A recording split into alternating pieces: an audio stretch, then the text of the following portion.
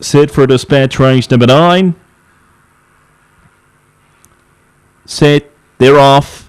And beginning well out deep was Layla Shim. Away well Gabrielle Allen with Rosie's gift. But the favourite Gabrielle Allen through the middle has the lead and gets away as they scrimmage leaving the straight.